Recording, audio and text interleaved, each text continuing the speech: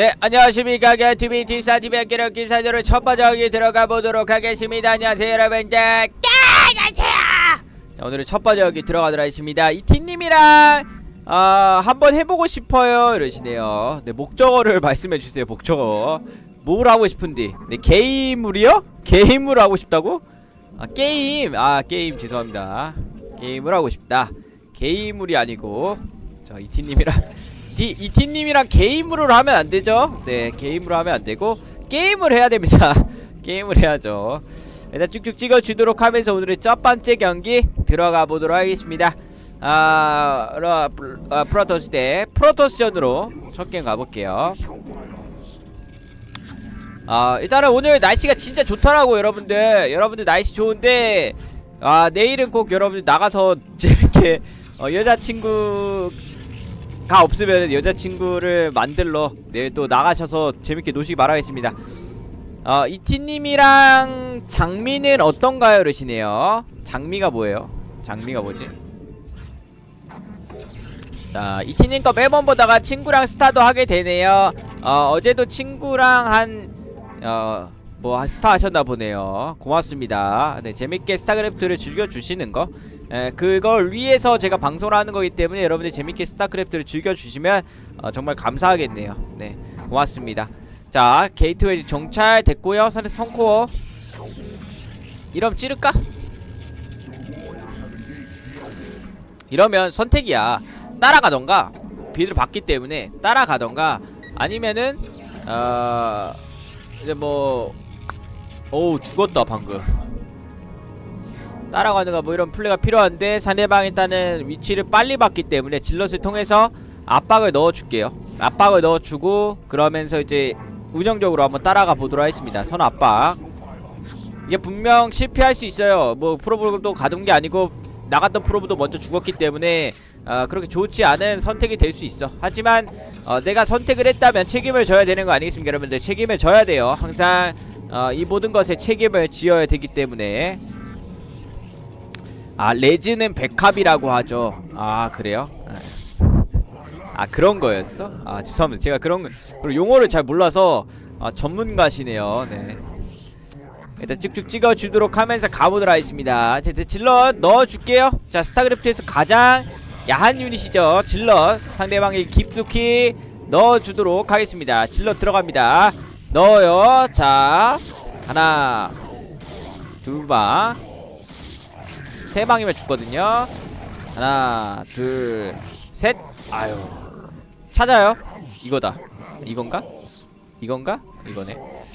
자 이렇게 찾아서 점사를 하면 되겠습니다. 뾰로로. 세개? 많이 잡았는데? 하나 더? 여기까지 자 이 다음에 build 선택할 수 있어요. 사네바 빌드를 끝까지 다 보고 있었고. 어... 뭐 상대방이 공격 오더라고 하더라도 상대 공격을 막을 수 있을 만한 병력이 충분히 있기 때문에 여기까지 딱 하고 저는 바로 Reaver로 한번 넘어가면서 상대방 공격을 막고 그 다음에 즐겨보도록 하겠습니다 게임을. 자 일단은 뭐 좋아요. 좋습니다. 자 일단 드라군도 두 개 찍어주도록 하면서 어, 프로게이티라고 프로게이는 뭐예요? 프로게이티는 뭐야? 자, 자 쭉쭉 찍어주도록 하면서 가도록 하겠습니다.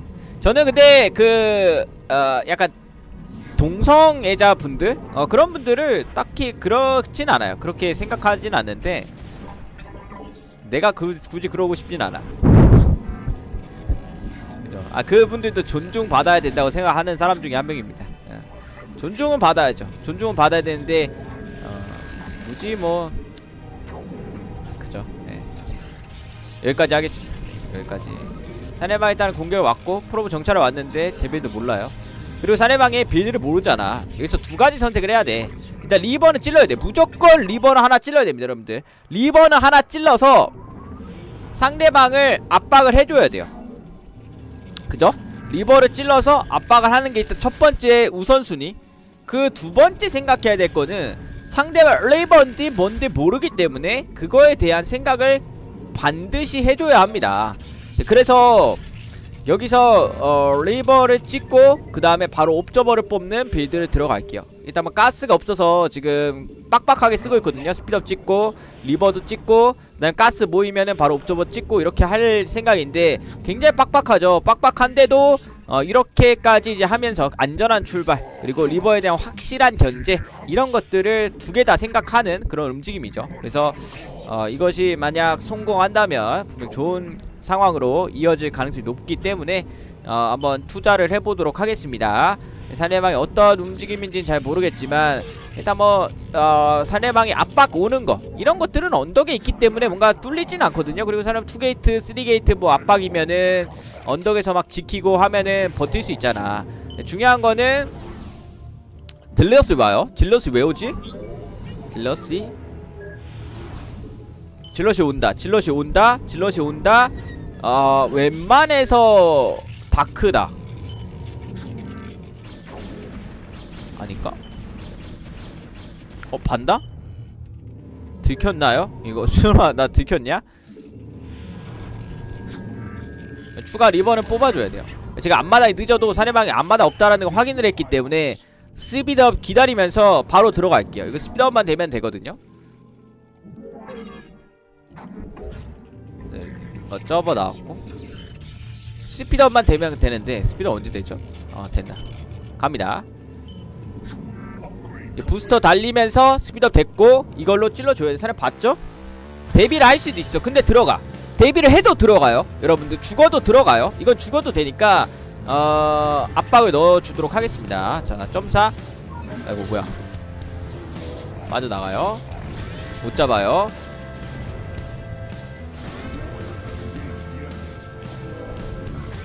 그러면 많이 흔들리죠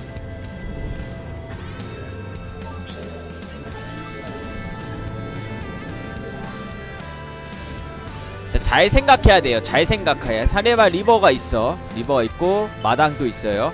두 가지를 생각해야 되는데 일단 상대방의 공격을 생각해야 돼. 그 공격 어떻게 막느냐? 리버로 막을 거예요. 근데 중요한 거 한 번 더 하고 싶잖아. 우리가 한 번 더 넣어주고 싶잖아. 이렇게 견제. 와 존나 잘 막네. 견제 여기서 막아야 돼요. 제가 드라군을 충원하는 빌드라서 한 번만 뻗으면 되거든. 한 번만 버티면 되는데 아니면 지금 오면 무서워 그래서 셔틀 살려주면서 돌아왔고요 그러면서 일단 리버로 추가 리버를 뽑아내면서 운영을 들어가겠습니다 깔끔하지? 솔직히 지금까지는 너무 깔끔했잖아 그리고 옵저버 지금 필요가 없죠 어차피 상대방은 Dark Templar build 아니니까 필요가 없고 상대방 Probe 잘 뺐지만 어, 지금 당장 이제 화력은 제가 세거든요. 그래서 two Reaver 타이밍 아니면 3 Reaver 타이밍 뭐 이런 타이밍을 재서 공격 가도 되는 거고 사정거리가 안 돼서 공격 가기 좀 애매하거든. 그래서 3 Reaver까지 기다릴게요. 3, 아, 투셔틀에 3리버. 그러니까 이 타이밍은 상대방이 약간 머리를 쓰고 있는 타이밍일 거야. 그러니까 뭐 견제를 한다든지 아니면은 뭐 다른 빌드를 들어간다든지 뭐 여러가지 선택을 하나를 할 상황인데 어 그거를 이제 보도록 할게요. 게러웨이 늘린다. 게러웨이 늘려서 어, 운영을 선택하네요. 이러면 셔틀 나오면 가면 되겠죠. 상대방도 보고 있어. 지금 Observer로 Reaver인지는 봤어. 이러면은 상대방도 셔틀 스피드업 준비하면서 견제할 수 있단 말이지. 그래서 그거 준비, 준비하고. 그러면서 저는 아까 말했던 그 타이밍 있죠? 3 어... 뭐냐. 3 셔, 3 Reaver 3 Reaver 타이밍. 그 타이밍을 노려볼게요. 일단 지금은 일단 수비하고 좀 있으면 셔틀 나온단 말이에요. 바로 떠날게요. 네. 게이트 늘리면서 딱딱 딱 찍고 이, 얘네 놔두고 가자. 얘네 놔두고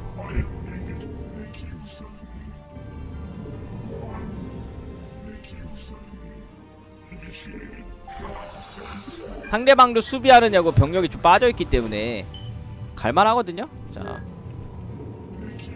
갈게요. 뿅. 그러니까 지금 이 공격이 막 무식하게 느껴질 수도 있고 막 한심하게 느껴질 수도 있는데 타이밍은 나쁘지 않아요. 사실 Reaver가 있지만 어 그래도 괴롭힐 수 있는 그런 공격이라는 거. Reaver 컨트롤만 좋으면 어느 정도는 많이 때려줄 수 있어요. 그죠?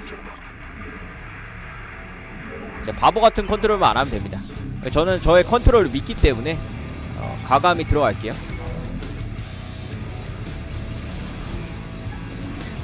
자 Reaver를 쓰면은 점사를 해줘야 돼요. 어휴 씨. 방금 실수. 근데 사례가 죽었죠 많이? 리버는 컨트롤하는 유닛이거든요 여러분들. 이렇게 점사를 하면은 동시에 빵빵 터지면서 죽어요. 이거, 이걸 노려야죠. 자 그리고 뒤로 빼주고 뒤로 빼면서 리버 빵빵.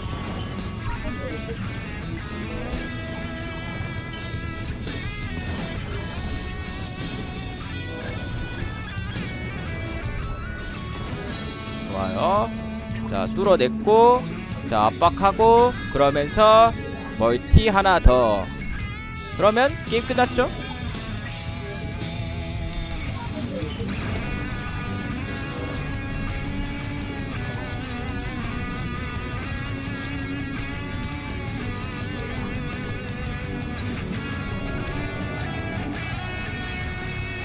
나도 정신이 없네.